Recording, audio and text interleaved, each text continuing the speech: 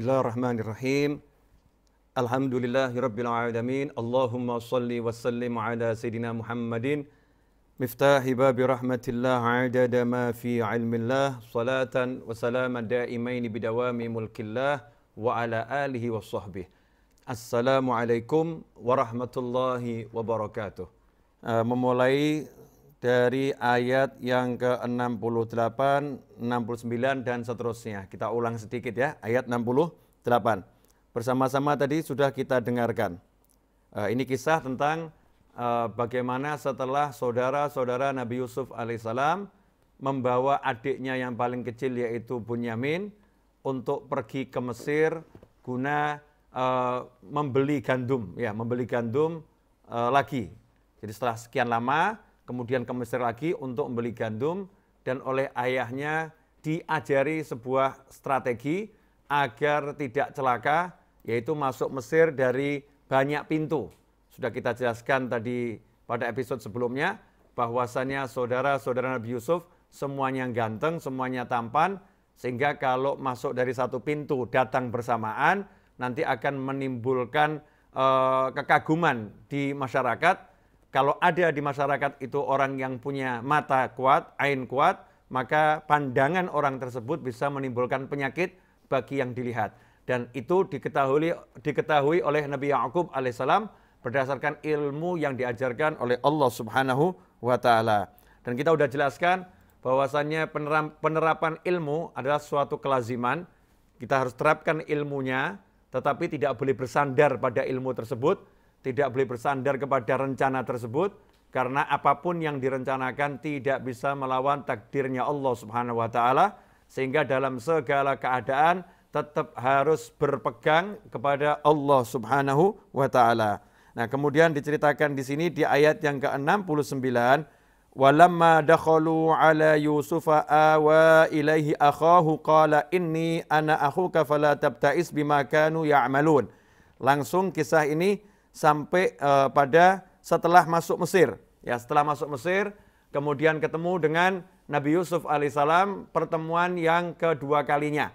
Yang pertama saudara-saudari sudah berkunjung, kemudian dapat gandum se eh, seperti cerita yang lampau, maka beberapa tahun kemudian datang lagi bawa Bunyamin, kemudian ketemu dengan Nabi Yusuf alaihissalam. Nah ini pertemuan uh, partner bisnis, seperti yang udah tadi saya jelaskan ya, bahwasannya di ayat-ayat ini ada salah satu uh, hikmah di mana Allah Taala menjelaskan kepiawaian Nabi Yusuf alaihissalam di dalam berbisnis. Ini beliau akan mengekspor gandum sementara saudara-saudara sebagai pengimpor. Beliau sebagai produsen, saudara-saudaranya sebagai konsumen. Maka yang dilakukan Nabi Yusuf alaihissalam adalah menjamu ya konsumen ini dengan baik, dengan bagus, ya melayani dengan bagus sehingga nanti mereka puas, kemudian mereka akan cerita ke orang-orang ini yang jual orangnya baik, yang jual orangnya jujur, yang jual orangnya luar biasa, dapat testimoni, kemudian mereka tidak akan beli kepada yang lain mereka akan kembali lagi kepada Nabi Yusuf alaihissalam. Nah ini harus kita lakukan kalau kita mau bisnis. Konsumen dilayani dengan bagus agar nanti menjadi uh, sales-sales kita tanpa kita kita sadari. Beliau-beliau itu yang akan berbicara, yang akan menjelaskan kehebatan produk kita dan menjelaskan kehebatan perusahaan kita. Kalau kita layani dengan dengan bagus. Maka mereka datang lagi ketemu Nabi Yusuf alaihissalam. Nabi Yusuf pun melayani dengan sangat baik Ya dijamu semuanya sebagai tamu, sebelum bicara bisnis, dijamu dulu sebagai tamu. Nah saat itulah Nabi Yusuf kembali melanjutkan rencananya. Dan beliau melihat rencananya berhasil, kakak-kakak saya datang kembali dan bawa adik saya Bunyamin. Ikhwani rahimakumullah, dan itu waktunya nggak sebentar. Tetapi waktu yang cukup panjang. Ya waktu yang cukup panjang, uh, perpisahan Nabi Yusuf alaihissalam dengan Nabi Yakub alaihissalam dan perpisahan dengan Bunyamin. Nah sekarang Bunyamin ada di depan mata, berhasil dibawa ke Mesir dengan rencana yang sangat bagus yang sudah direncanakan oleh Nabi Yusuf alaihissalam tentunya dengan petunjuk Allah subhanahu wa ta'ala. Lantas bagaimana cara Nabi Yusuf mengambil Bunyamin? Sangat menarik. Dengan melayani sebagai tamu, maka Nabi Yusuf alaihissalam katakan kepada semua tamu-tamunya yang tidak tiada lain adalah kakak-kakaknya, kalian masing-masing akan saya kasih kamar khusus, satu kamar berisi dua orang. Satu kamar isinya dua orang. maka dua, dua, dua, sepuluh bersaudara ini ya dapat kamar lima. Tinggal satu kamar berisi Bunyamin. Nggak ada temennya Bunyamin karena sebelas orang. Ya, karena sebelas, sebelas orang. Saat itulah Nabi Yusuf berkata, ini saudaramu uh, sendiri, biar nanti saya yang menemani. Ya sebagai penghormatan, biar saya yang menemani saudaramu uh, uh, di dalam penjamuan ini. Di kamarnya biar saya yang menemani. Maka mereka masing-masing 10 orang ini di kamarnya masing-masing, satu kamar isinya dua orang, dua orang, Bunyamin dengan Nabi Yusuf alaihi salam. Ya Bunyamin dengan Nabi Yusuf alaihi salam.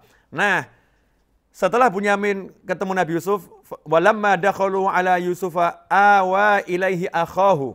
Dikatakan di sini di terjemahan kalau kita baca, uh, dia menempatkan saudaranya Bunyamin di tempatnya. Jadi Bunyamin dimasukkan di kamar Nabi Yusuf, berdua dengan Nabi Yusuf alaihissalam. Lalu Nabi Yusuf berkata kepada Bunyamin alaihissalam, "Fala tabta'is bima kanu ya'malun." Janganlah engkau bersedih hati atas apa yang telah mereka lakukan. Jangan pernah bersedih hati atas perlakuan mereka selama ini. Bima kanu ya'malun. Yang pernah mereka lakukan, jangan kamu masukkan hati, jangan sedih, jangan suntuk. Uh, kemudian dilanjutkan di ayat yang ke 70 uh, falamma jahazahum. Nah, baru ayat 70 itu nanti dijelaskan bagaimana cara mengambil Bunyamin. Kita masih di ayat yang 69 ya. Ayat 69 Nabi Yusuf alaihissalam kemudian menceritakan, "Saya Yusuf, saya kakakmu." Ya, saya Yusuf, saya kakakmu, anak aku kafala tabtais bima kanu ya'malun. Kamu jangan bersedih hati atas apa yang mereka perbuat. Dan ini disampaikan di kamar Nabi Yusuf alaihissalam di mana Bunyamin diberi kehormatan tidur bersama Nabi Yusuf alaihissalam. Nabi Yusuf udah nggak kuat kangen ini. Ya kangen, deh pak sini adik saya ya tidur di kamarnya melepas rindu. Kita bisa merasakan betapa bahagianya saat itu Nabi Yusuf alaihissalam akhirnya bertemu dengan adik yang sangat beliau cintai, adik yang sangat beliau sayangi. Ikhwani rahimakumullah, maka Nabi Yusuf tidak akan melepaskan Bunyamin kembali ke ayahnya. Tidak akan melepaskan Bunyamin kembali ke, ke ayahnya. Bunyamin harus hidup bersama aku. Ya tentu semua ini atas perintah Allah subhanahu wa ta'ala. Allah ingin menguji Nabi Yakub alaihissalam. Jadi di, di ujung sana ada Nabi Yakub yang diuji oleh Allah subhanahu wa ta'ala. Nanti akan saya ceritakan sebetulnya sebab utama kenapa Nabi Yakub sampai diuji itu apa? Apa betul murni hanya karena mencintai terlampau berlebihan? Sementara kita tahu seorang nabi cintanya tetap terjaga, ya cinta tetap ter, terjaga, maka ada pandangan lain dari ulama yang nanti akan saya sampaikan di bagian yang udah pas ya. Di bagian yang sudah sudah pas biar kita bisa metik hikmah sebanyak mungkin. Singkat cerita, Nabi Yusuf tidak akan melepaskan Bunyamin kembali ya kepada uh, saudara-saudaranya dan tidak melepaskan Bunyamin kembali kepada ayahnya. Maka di ayat 70 dijelaskan, falamma jahazahum bijahazihim ja'ala fi rahli akhihi thumma adzana muadzinun ayatuhal airu innakum lasarikun. Maka ketika telah disiapkan bahan makanan untuk mereka, Yusuf memasukkan, ini kalau di terjemahan dikatakan piala ya, bukan piala. Jadi memasukkan gelas yang biasa digunakan untuk minum Nabi Yusuf, dan gelas itu juga digunakan untuk menakar gandum. Memang bentuknya seperti piala. Ya, gelasnya besar gitu ya. Gelasnya besar seperti piala, tapi bukan piala. Itu gelas ya. ya bahannya terbuat dari uh, perak. Katakan terbuat dari dari perak uh, dalam syariat terdahulu diizinkan gitu ya. Syariat terdahulu di, diizinkan biasa digunakan untuk minum atau untuk menakar ya menakar gandum. Nah, saat itulah uh, alat yang sangat berharga ini oleh Nabi Yusuf alaihissalam dimasukkan ya ke dalam kendaraannya Bunyamin dimasukkan dalam kendaraannya Bunyamin alaihissalam ke dalam karung saudaranya yang tentunya karung itu yaitu di ontanya. Kemudian berteriaklah seseorang yang menyerukan, "Wahai kafilah, sungguhnya kalian pasti pencuri." Nah, ini kalau kita baca terjemahan, maka kita nggak nggak dapat ceritanya.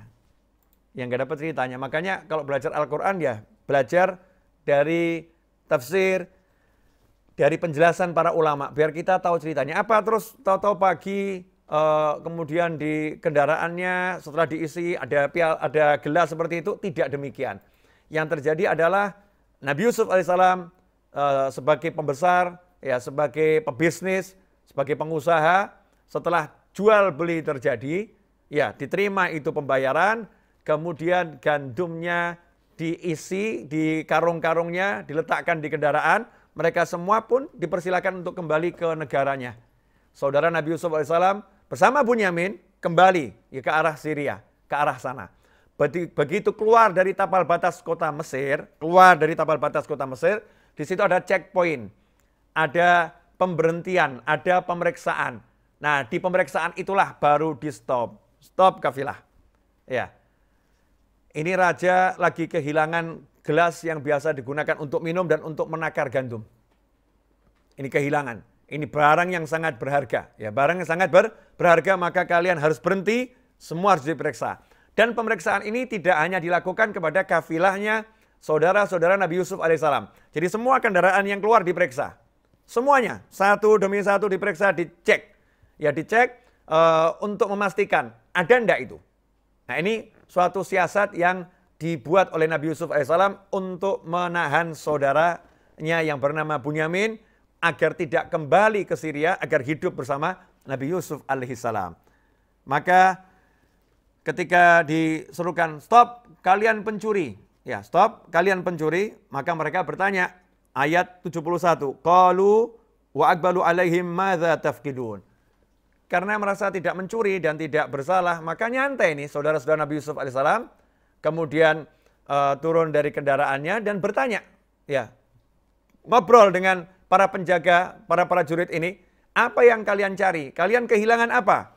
Maka dijawab di ayat yang ke-72, Qalu nafkidu al maliki wa liman ja'a bihi himlu ba'irin wa ana bihi za'im. Kata mereka di ayat 72, mereka menjawab kami kehilangan gelas raja dan siapa yang dapat mengembalikannya akan memperoleh bahan makanan seberat beban unta dan aku jamin itu.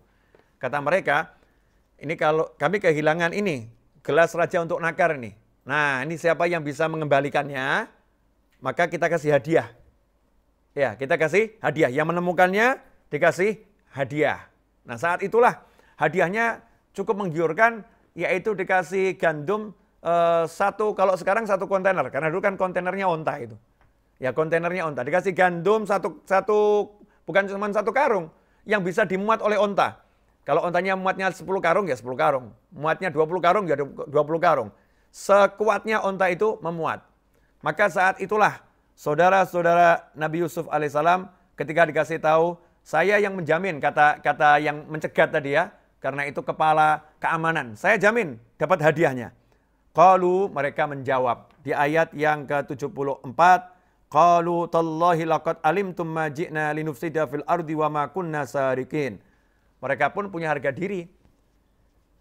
Bukan masalah bayaran, ya. Kita tidak butuh bayaran. Dan kami bukan pencuri. Ya kami bukan pencuri. Kalian semua tahu, kami ini datang bukan ingin membuat kerusakan di Mesir. Kami datang bukan ingin membuat kekacauan di Mesir. Ya kami tidak ingin membuat uh, kerusakan. Wa makunna sarikin. Dan kami ini bukan pencuri. Kami bukan pencuri. Kami adalah anak-anak Nabi. Kami orang-orang mulia. Dan kami datang bawa uang kami bayar. Ya kami bayar. Bisnis. Bukan pencuri. Kata mereka saudara-saudara Nabi Yusuf alaihissalam dengan gagah, eh, dengan PD, dengan penuh keyakinan. Nah, di sinilah mulai siasat Nabi Yusuf dijalankan. Jadi Nabi Yusuf paham betul, kakak-kakaknya ini tidak mau dikasih uang. Ya, cek, nanti kalau ketemu saya bayar uang, gandum banyak. Paham betul nggak mau. Karena paham betul saudara-saudaranya nggak mau uang haram. Nggak mau. Maunya ya, kalau ada yang mencuri ya dihukum. Dan saudara Nabi Yusuf ini punya syariat tersendiri.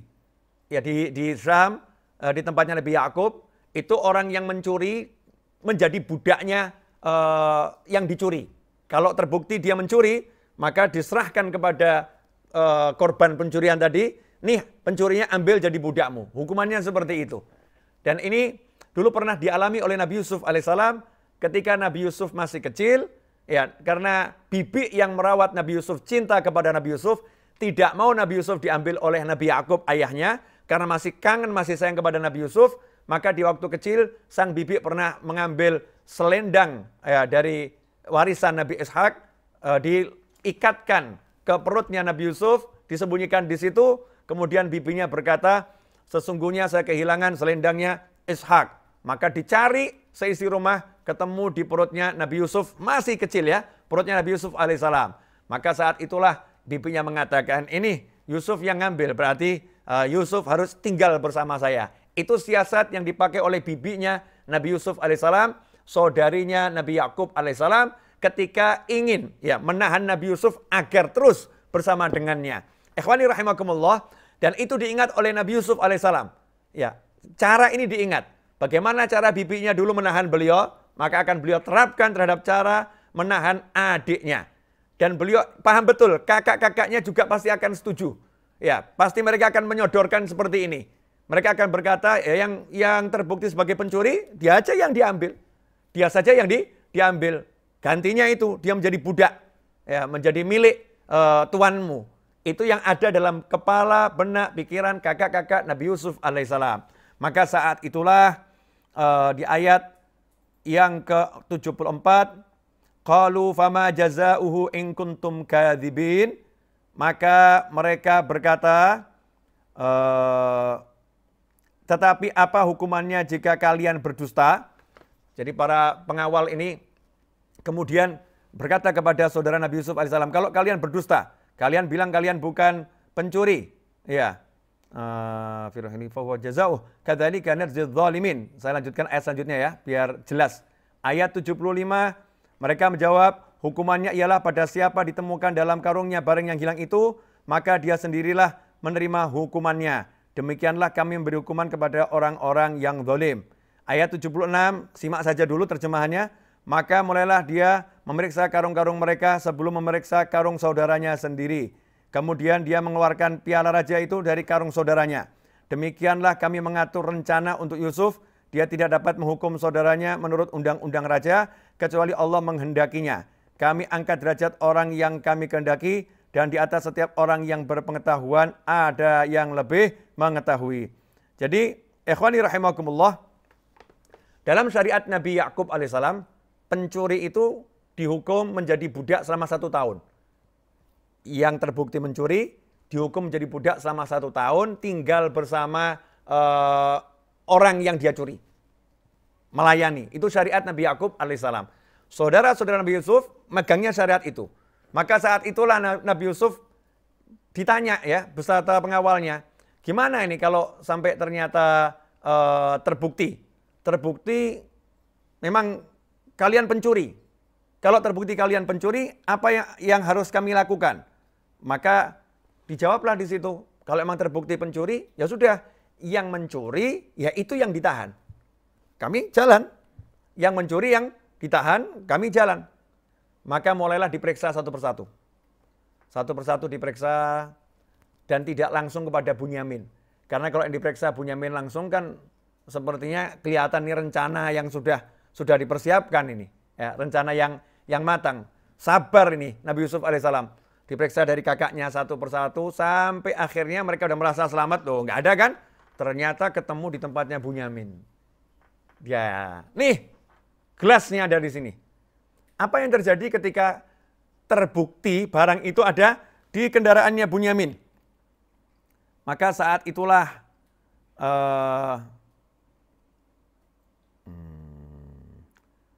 Qalu mereka berkata ayat yang ke-77 Nanti yang 76 akan saya bahas ya, kandungan di dalamnya. Tapi kita biar kisahnya ini uh, selesai pada titik itu. Mereka berkata ketika menyaksikan ternyata kok barangnya ada di Bunyamin ini. Bunyamin mencuri ini. Mereka lihat kenyataan itu. Apa yang dilakukan oleh saudara-saudara Nabi Yusuf alaihissalam ketika melihat adiknya mencuri? Qalu in yasrik faqad saraka akhun lahu min qabl. Masya Allah. Di depan Nabi Yusuf alaihissalam, mereka berkata, wah ini kalau Bunyamin ini mencuri, ya wajar. Lawang kakaknya dulu juga pencuri. Coba bisa kita bayangkan tuh perasaan Nabi Yusuf alaihissalam seperti apa. Kalau memang Bunyamin ini mencuri, ya wajar. Kakaknya dulu juga pencuri. Walaupun dia ngomong kakak-kakaknya, tapi kakaknya merasa kan beda ibu. Ini dari ibu yang lain ini. Nah ini ketularan Yusuf ini. Kalau dia mencuri, emang Yusuf juga mencuri ya. Memang ini dua-duanya nih seperti itu nih. Dua-duanya seperti itu. Yang dimaksud Nabi Yusuf mencuri adalah dulu waktu kecil pernah dituduh mencuri. Ya, pernah dituduh men mencuri. Dan ada riwayat mengatakan di waktu kecil Nabi Yusuf alaihissalam suka mengambil makanan yang di meja makan bersama ayahnya, bersama kakaknya, suka diambil kemudian diberikan kepada pengemis. Suka diambil diberikan kepada pengemis. Banyak riwayat, ya banyak riwayat menjelaskan itu. Artinya mereka mengucapkan kalimat yang nggak bagus. Menyalahkan Nabi Yusuf yang udah nggak ada. Nabi Yusuf yang udah mereka buang ke sumur. Nabi Yusuf yang udah puluhan tahun ya nggak ketemu. Puluhan tahun manusianya nggak ada, itu kakak-kakaknya masih masih ngomong apa? Kalau mencuri ya memang memang kakaknya dulu juga mencuri. Saudaranya dia juga juga mencuri. Membersihkan diri mereka dan menimpakan kesalahan itu pada Nabi Yusuf alaihissalam. Ikhwani rahimakumullah. Ini wajar terjadi pada manusia ya ketika sudah lelah, udah capek ya. Kemudian sudah berusaha semaksimal mungkin berbuat baik, kok lihat kenyataan, loh, kok dia mencuri? Karena kakaknya tahunya ini mencuri gitu. Jadi Anda harus memahami kisah ini dengan baik dan benar ya. Kakaknya taunya Bunyamin ini mencuri. Maka saat itulah muncul ya godaan setan muncul lagi. Muncul godaan setan untuk apa? Mengingatkan pada Yusuf alaihissalam. Kalau mencuri, ya memang kakaknya adalah dulu seorang pencuri, pernah mencuri. Apa yang dilakukan Nabi Yusuf ketika dia sebagai pembesar, kemudian dikatai, kamu pencuri. Kalau Nabi Yusuf itu nggak sabar, nggak pemurah, selesai itu. Kakak-kakaknya ditangkap di penjara semua bisa itu. Ya, oh biar ngerasain nih, masih nuduh-nuduh Yusuf. Rasain. Tapi tidak, yang dilakukan tidak seperti itu. Yang dilakukan adalah qala antum syarrum makana wallahu a'lamu bima tasifun. Ya. Uh, walam yub fa'asarraha Yusufu fi nafsihi walam yubdiha lahum Qala antum syarrum makana wallahu a'lamu bima tasifun. Nabi Yusuf tidak menampakkan ya tidak menampakkan uh, gejolak hatinya, disembunyikan dalam hatinya dan beliau berkata, kedudukan kalian di sisi Allah taala itu ada di bawahku, aku lebih mulia di sisi Allah Subhanahu wa taala. Kenapa lebih mulia? Sebagai orang yang didolimi dan beliau diangkat jadi nabi, dan beliau dapat ilmu dari Allah Ta'ala karena memang posisinya di sisi Allah Nabi Yusuf ini lebih dari saudara-saudaranya. Maka ketika disakiti seperti itu Nabi Yusuf kembali bersyukur pada Allah Ta'ala. Alhamdulillah saya ini sudah dijadikan lebih baik dari kalian. Alhamdulillah Allah jadikan saya lebih baik dari dari kalian. Nah mengingat yang enak ini mengingat derajat yang lebih tinggi itu membuat orang bisa bertahan menghadapi segala keadaan yang gak enak. Bisa bertahan menghadapi segala keadaan yang yang nggak enak, nggak ngomong, ya nggak ngomong kecuali uh, kalimat yang selanjutnya. Uh, Wallahu a'lamu bima tasifun. Allah lebih mengetahui tentang kebenaran ucapan kalian tadi. Itu yang diucapkan. Sementara masalah aku lebih baik di sisi Allah itu nggak diucapkan. Itu ada di dalam hati Nabi Yusuf alaihissalam. Ikhwani rahimakumullah. Kita bahas sedikit ya. Biar enak, biar nyaman mundur dulu ke ayat yang ke-76. Di ayat 76 itu ada kadzalika kidna li yusufa maka naliyakhudha akhahu fi dinil maliki illa ayyasha Allah narfa'u darajatin man nasha wa fawqa kulli dhi ilmin alim kata Allah Subhanahu wa taala demikianlah kami ya mengajarkan kepada Yusuf bagaimana cara mengambil saudaranya jadi semua ini trik yang dilakukan Nabi Yusuf alaihissalam, Allah yang ngajari. Begini, begini, begini, begini. Step-stepnya itu semua Allah yang mengilhamkan, mewahyukan kepada Nabi Yusuf alaihissalam. Maka naliyakhudha akhahu fi dinil malik. Ya, kata Allah Ta'ala, Nabi Yusuf tidak bisa menahan Bunyamin, ya membawa ke kerajaan Mesir menggunakan uh, hukum yang berlaku di Mesir. Karena hukum yang berlaku di Mesir Eh, seorang pencuri nggak bisa jadi budak nggak beda hukumnya ber, berbeda tetapi dengan saudaranya sendiri yang ngomong kalau yang bersalah yang mencuri itu jadi budak. Ya yang kecurian. Itu yang ngomong bukan Nabi Yusuf. Yang ngomong bukan bukan kerajaan Mesir. Tapi yang ngomong saudara-saudaranya sendiri. Ketika saudara-saudaranya ngomong seperti itu, diiyakan oleh Nabi Yusuf. Sebelumnya ditawari, e, nanti kalau dikembalikan kita ganti onta e, muatan penuh. Ya, onta muatan penuh. Mereka nolak, kami bukan pencuri. E, kalau kalian bukan pencuri, terus gimana kalau terbukti kalian pencuri? Kalau terbukti pencuri, yang mencuri itu jadi budak. menjadi budak yang dicuri. Yang mencuri jadi budak yang dicuri. Ini hukum bukan hukumnya Mesir. Ini hukum adalah hukum Nabi Yakub alaihissalam. Di uh, masyarakat Nabi Yakub, syariatnya Nabi Yakub alaihissalam. Di situlah Nabi Yusuf kemudian mengiyakan kesepakatan ya, deal yang ketemu uh, apa barangnya, dia yang ditahan, uh, dia dijadikan budak, deal, deal, oke. Okay. Nah ini syariat bukan syariat uh, Mesir, tapi ini syariat Nabi Yakub alaihissalam. Nah beginilah Allah mengajarkan pada Nabi Yusuf alaihissalam gimana cara kamu mengambil Bunyamin, caranya biar kakak kamu sendiri yang menentukan hukumannya. Biar kakak kamu sendiri yang menentukan bagaimananya. Sabarnya luar biasa dan cerdasnya luar biasa. Kesabaran ya dalam mencapai tujuan, step by step, step pelan-pelan ya. Diikuti terus sampai akhirnya uh, ketemu, ketemu dan terbukti maka Bunyamin harus ikut bersama Nabi Yusuf alaihissalam. Dan Allah tutup ayat tersebut dengan kalimat wa ilmin alim. Dan di atas orang yang alim itu ada orang yang lebih alim. Kalau bahasa kita dalam dunia persilatan di atas langit masih ada langit. Ya, di atas langit masih ada langit. Di atas orang yang pinter masih ada yang lebih pinter. Ini Nabi Yusuf alaihissalam pinternya seperti ini, di atas beliau masih ada yang lebih pinter lagi. Di atas yang lebih pintar dari Nabi Yusuf, masih ada yang lebih pintar lagi. Sampai akhirnya Allah yang paling pintar. Allah yang paling pandai. Allah yang paling alim. Artinya kita suruh tawadhu terus di hadapan Allah Subhanahu wa taala, jangan menyombongkan diri, jangan membanggakan diri dengan keahlian, kehebatan dan kepandaian kita semua. Ikhwani rahimakumullah. Kemudian uh, tertangkaplah Bunyamin, saudara-saudaranya pun membersihkan dirinya. Kalau memang Bunyamin ini mencuri, pantas. Kalau kami bukan pencuri, ya kami bukan pencuri. Kalau Bunyamin ini pencuri, pantas. Karena saudaranya dulu juga pencuri. Kalau kami tidak, bayangkan tuh rasanya Nabi Yusuf dengar seperti itu gimana itu? Ya, tidak ada Nabi Yusufnya, masih disebut-sebut sama saudaranya. Masih disebut-sebut sama saudaranya. Maka di situlah Nabi Yusuf alaihissalam uh, menyembunyikan dalam hatinya suatu ungkapan Ungkapan apa? Ungkapan syukur kepada Allah Subhanahu wa taala. Ya alhamdulillah, ya saya ini lebih baik dari kalian. Kalian di bawah saya. Bersyukur. Ini teknik saudara-saudara. Jadi kalau kita lagi uh, kena sesuatu yang nggak enak, kena sesuatu nggak enak, kita suruh melihat nikmat yang Allah berikan pada diri kita. Dicaci, dimaki, dihina, ya. Kita lihat nikmat yang Allah berikan pada diri kita. Kalau kita lihat nikmat itu, maka nanti cacian, makian yang tidak enak itu tidak akan terasa. Ya tidak akan terasa. Bagaimana Al-Quran mengajarkan nih? Ya Al-Quran mengajarkan Nabi Yusuf untuk melihat nikmat yang Allah berikan kepada dirinya, engkau lebih baik daripada saudara-saudaramu. Nah ini kalau kita pakai, Masya Allah nih, dalam kehidupan, banyak hal-hal yang gak enak itu bisa kita lewati dengan kita melihat nikmat yang Allah berikan pada diri kita.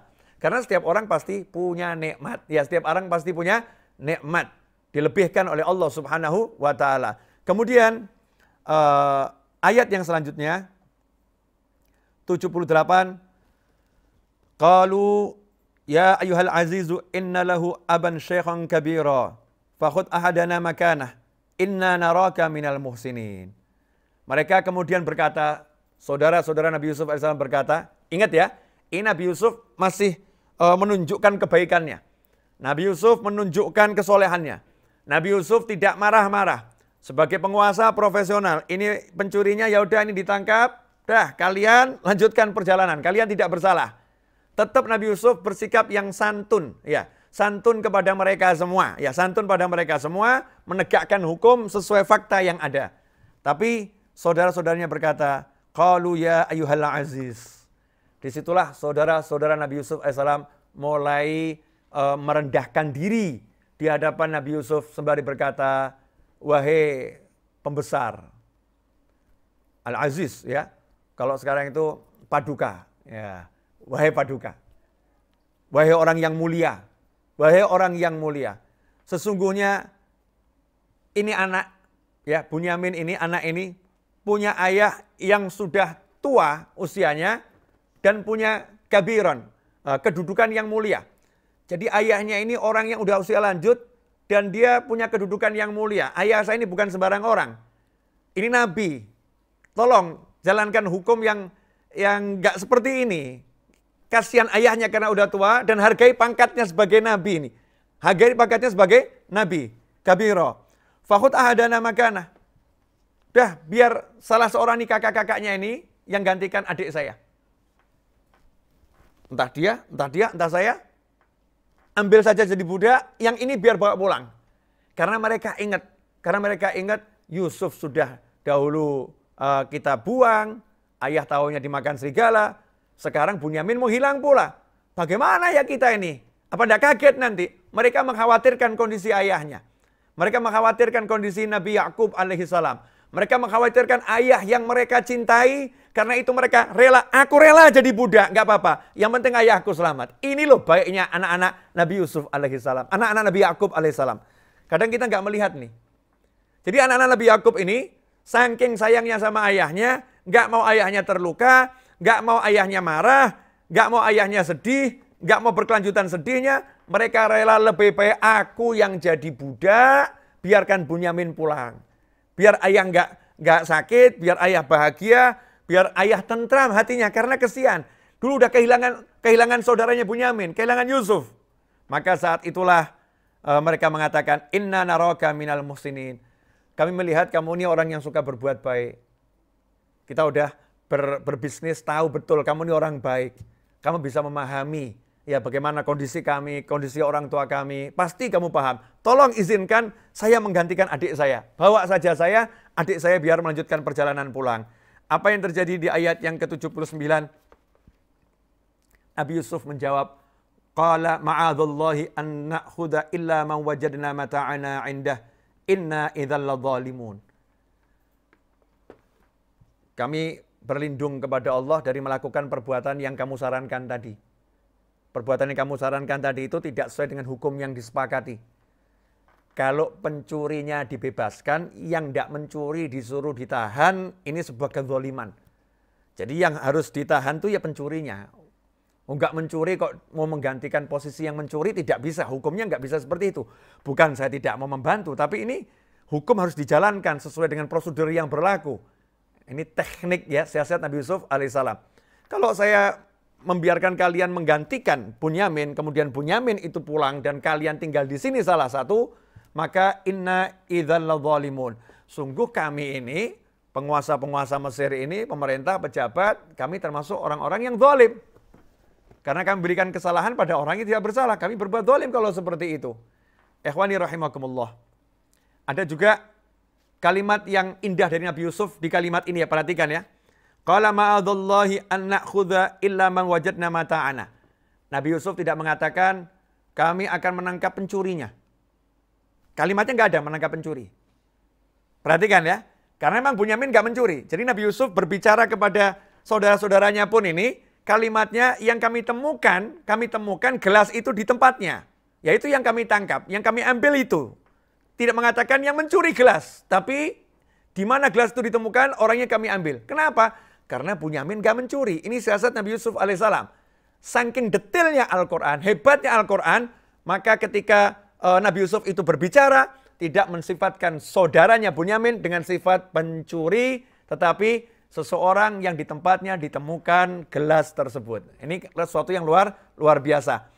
Inna idzal zalimun. Kalau kami menangkap uh, pen, uh, yang ngambil barang, diganti sama yang lain, tidak bisa. Zalim itu, kalian tidak bisa menggantikan. Ini perbuatan yang zalim.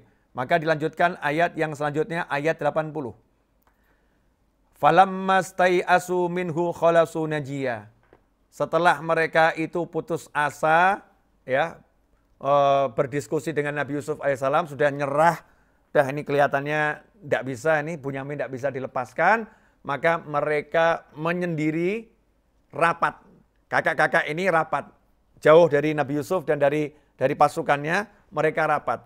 Ini gimana ini? Nggak mungkin nih Bunyamin dibawa pulang, nggak mungkin ini.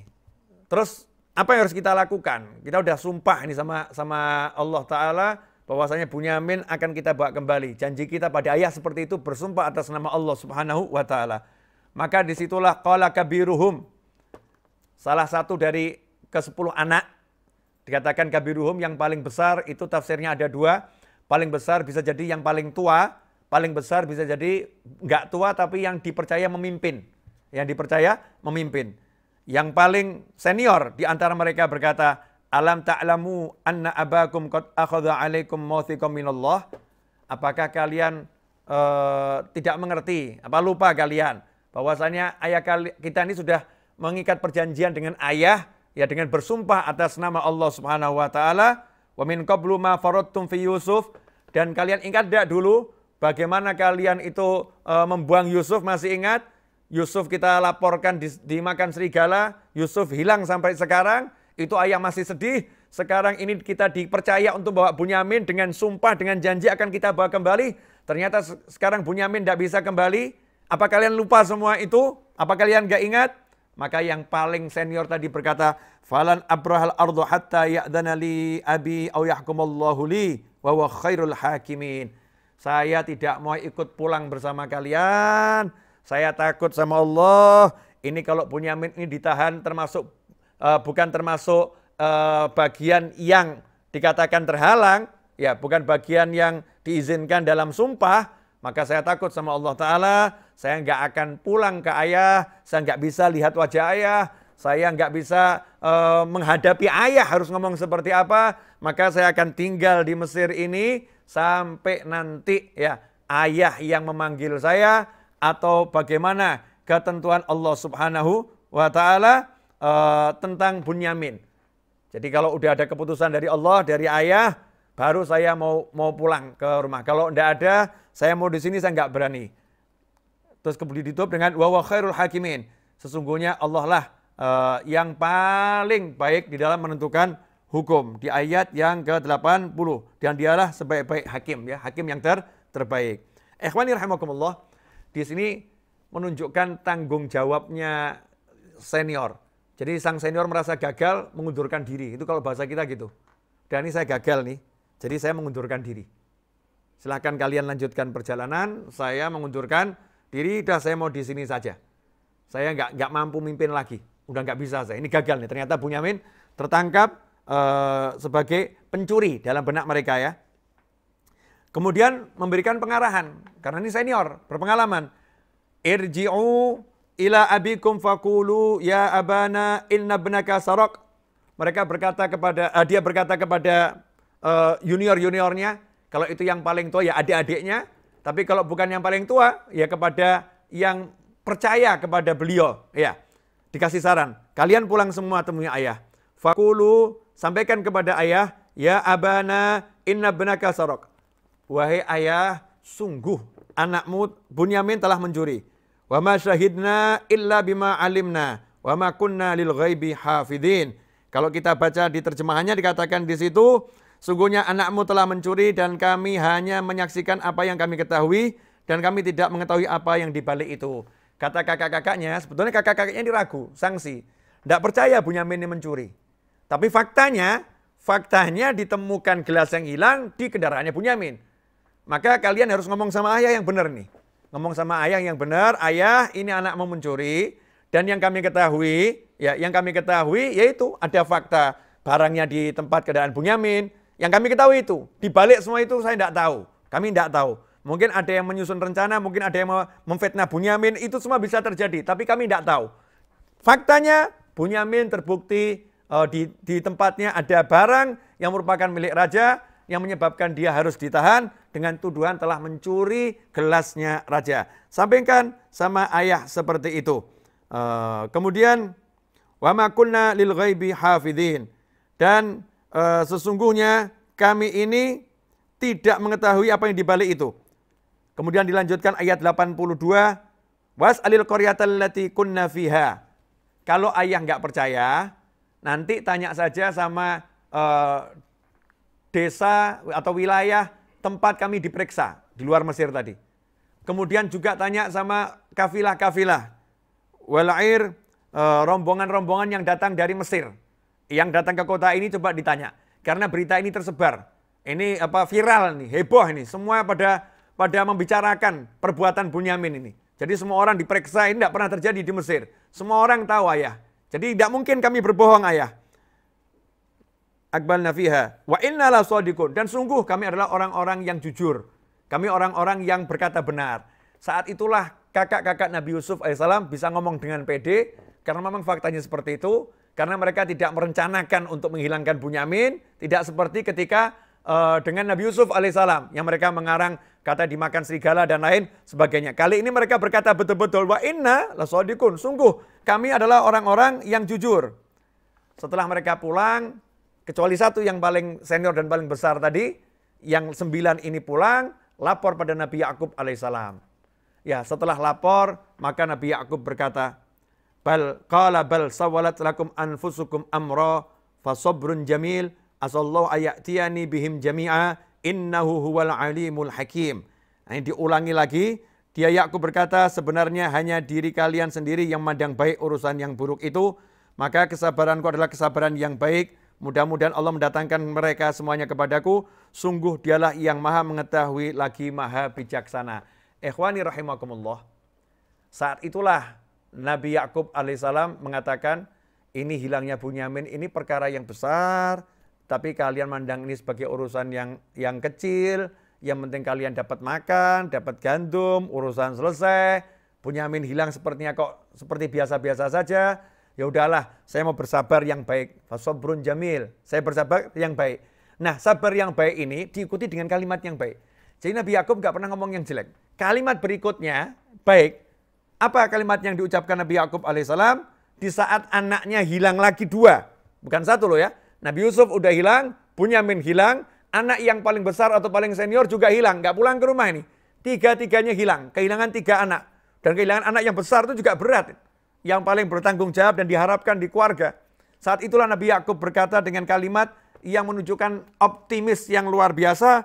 Beliau berkata alaihi salatu wassalam, Asallahu ayatiyani bihim jami'a innahu huwal alimul hakim. Semoga Allah nanti mengembalikan mereka semua bertiga kepadaku. Sesungguhnya Allah itu maha mengetahui lagi maha bijaksana. Allah maha mengetahui lagi maha bijaksana. Tiga-tiganya insya Allah nanti akan dikembalikan kepadaku. Nah ini yang patut kita contoh. Jadi kalau kena yang tidak enak tuh ngomongnya tetap bagus. Kecurian barang. Nah, insya Allah nanti dapat ganti yang lebih baik. Iya. Bisnisnya jatuh. Oh, ntar lagi saya mau jadi bos besar insya Allah. Insya lagi mau jadi bos besar. Apa pun yang gak enak, ngomongnya baik. Nah kira-kira bisa enggak kita seperti itu? Biasanya kalau gak enak tuh ngomongnya lebih baik atau ngomongnya tambah jauh lebih gak baik. Begitu dipecat, sudah e, cari duit susah, pekerjaan hilang, gimana hidup ini? Mikirnya jelek. Ya mikirnya jelek. Na'udzubillah min dhalik. Allah Ta'ala mengajarkan jangan mikir yang jelek. Percaya sama Allah, yakin sama Allah, minta sama Allah, asallah, semoga Allah mengembalikan mereka semua kepadaku karena Allah itu maha mengerti lagi maha bijaksana. Wa tawalla anhum wa qala ya asafa ala yusufa wa byadat aynahu minal huzni fahuwa kadhim. Maka setelah itu di ayat 84 dia Yakub berpaling dari mereka anak-anaknya uh, seraya berkata, Duha, aduhai duka citaku terhadap Yusuf dan kedua matanya menjadi putih karena sedih, dia dia menahan amarah terhadap anak-anaknya. Terjemahannya seperti itu ya. Tapi saya akan jelaskan tafsirnya, insya Allah, uh, tadaburnya. Watawalla anhum. Setelah mendengar penjelasan anak-anaknya, dan beliau kehilangan tiga putra kesayangannya. Ini semua putra disayangi, kehilangan tiga putra kesayangannya.